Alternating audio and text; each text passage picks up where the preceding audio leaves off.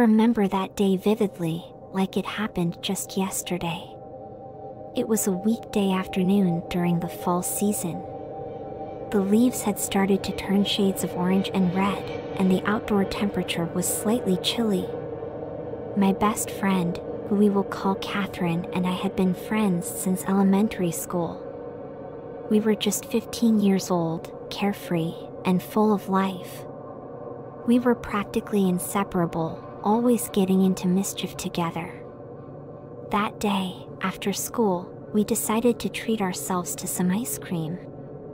I would have never imagined that day would haunt me for years to come. We walked down the familiar streets, laughing and chatting about anything and everything. As we arrived at our favorite ice cream parlor, we entered with excitement. The place was busy, mostly with other children in our age group. We waited in line for about five minutes and then we made our choices. It was the perfect way to end a long day of classes.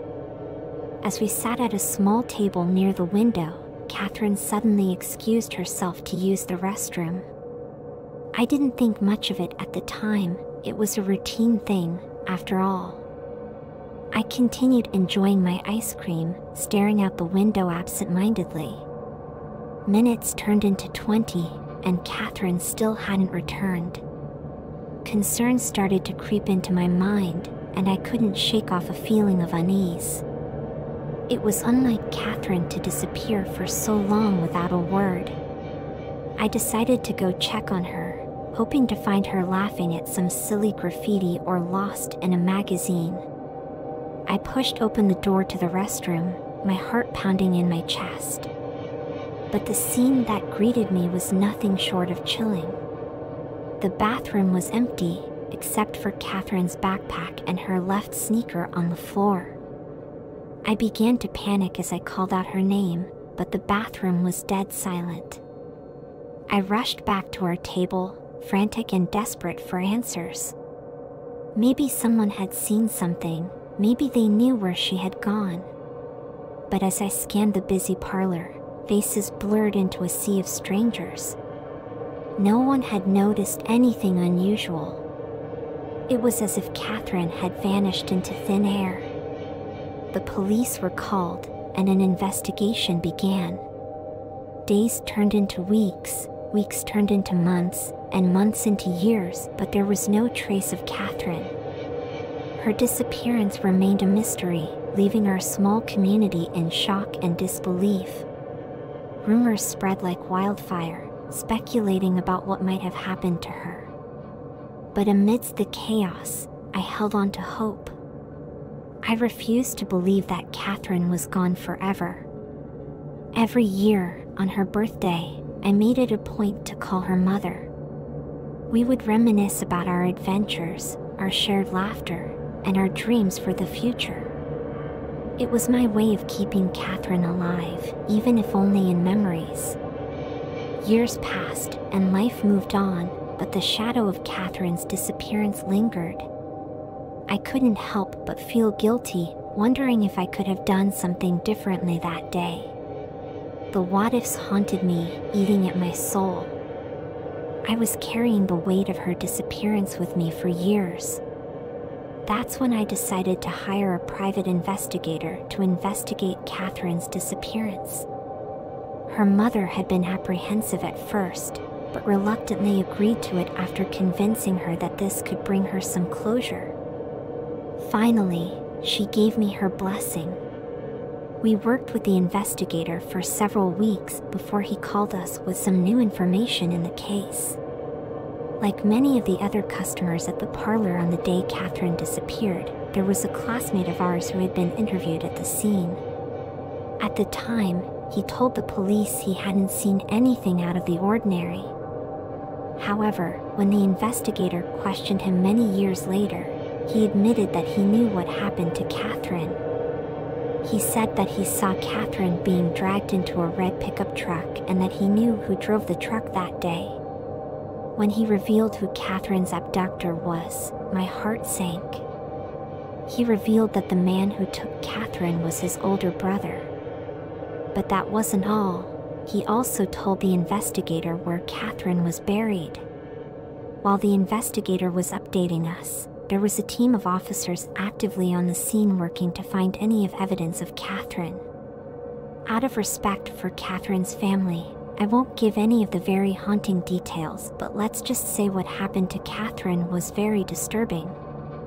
The man who had abducted her and ultimately harmed her was the older brother of one of our classmates. He had even offered us rides home from the football games before. I would have never thought he could something like this, especially because at the time that we found out he had done this to Catherine, he was a married man with three children and a youth pastor at our local church. He is the last person anyone would have expected to harm someone in such a brutal way.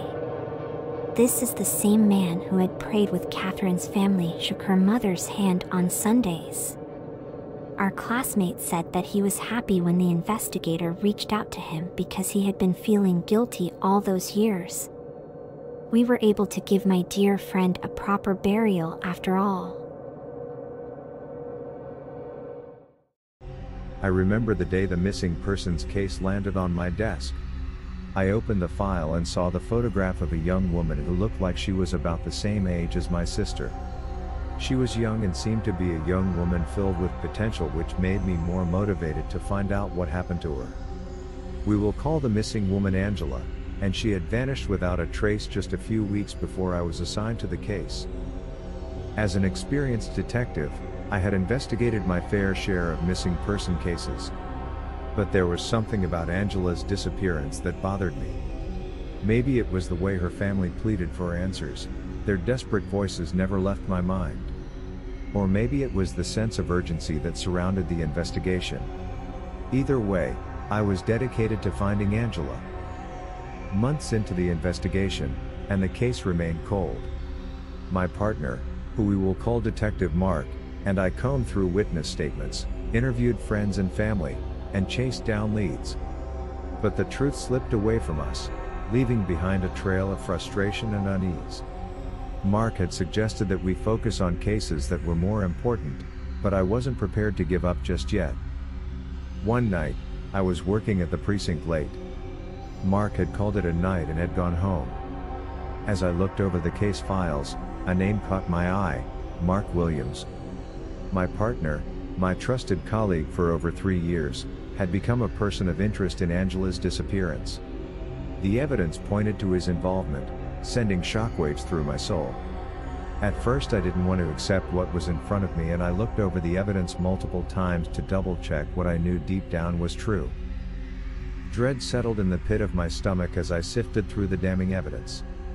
The phone records, surveillance footage, and witness testimonies all painted a chilling picture, a picture that pointed directly at the person I had trusted with my life. I knew I had to confront the truth head on, to separate my personal feelings from the demands of my duty. But the thought of reporting Mark to our superior filled me with fear.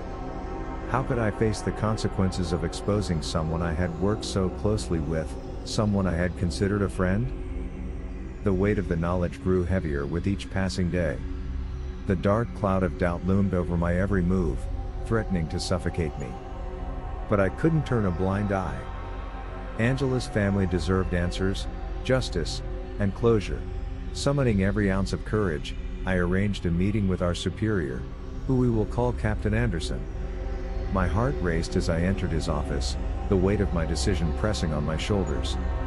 I laid out the evidence before him, watching as the truth took hold of his expression. Captain Anderson listened intently, his face a mask of concern and disbelief. He assured me that a thorough investigation would be conducted, with no biases or exceptions. But despite his reassurances, a sense of unease lingered. The repercussions of my actions loomed over me like a dark shadow. Days turned into weeks once again, but this time the focus of the investigation had shifted. I watched as the evidence mounted against Mark, his once stellar reputation crumbling under the weight of suspicion. The precinct buzzed with whispers and rumors, a toxic mix of fear and uncertainty. During those tense days, I became the target of both sympathy and suspicion. Some doubted my motives, questioning why I had waited so long to report my partner. Others commended my courage, acknowledging the difficulty of my position. But their words did little to ease the turmoil brewing within me. The day Mark was taken into custody remains in my memory. That day was filled with betrayal and shattered trust. I had a mix of emotions seeing my good friend in handcuffs clicked around his wrists and knowing that I was the reason for it. We looked at each other and he looked to be filled with a mix of anger and confusion. Our partnership was once strong and unbreakable but had quickly crumbled. That day, every officer I worked with looked like a suspect. I didn't trust anyone, and the entire situation started to affect my mental health. A few weeks later, my 22 year career in law enforcement ended. I'll never forget that night, driving down the streets with my brother on the passenger side. We just left the club and were heading home. Before we left the club that night, my brother had gotten into it with a couple of guys. After calming the situation down, I was able to convince my brother to leave. We were traveling on a dark road that didn't have streetlights, and as I looked in my rearview mirror, I could see red and blue lights flashed behind us. I got nervous and my heart was pounding in my chest. I pulled the car to the side and woke up my brother who was sleeping. I pulled my car to the side and turned on the lights in the car so the officer could see us clearly. I was surprised that the police officer never spoke to me at all. He focused his attention on my brother. He demanded my brother's ID, and I watched as my brother handed it over. The officer scanned my brother's ID, and I could see his eyes get big as he was reading the information. In a split second, he started barking orders, yanking my brother out of the car and cuffing him. Out of nowhere, another officer walks up to the driver's side and tells me to stay in the car. I asked them what was going on, and the officer who was on my side of the car told me that my brother had a warrant. My brother had a few run ins with the law before, but he had turned his life around, and I was surprised that he had a warrant. I asked the officer what the warrant was for, but he told me that he would not discuss that with me and ordered me to leave the scene. They forced my brother into their car, and I stood there, helpless and confused.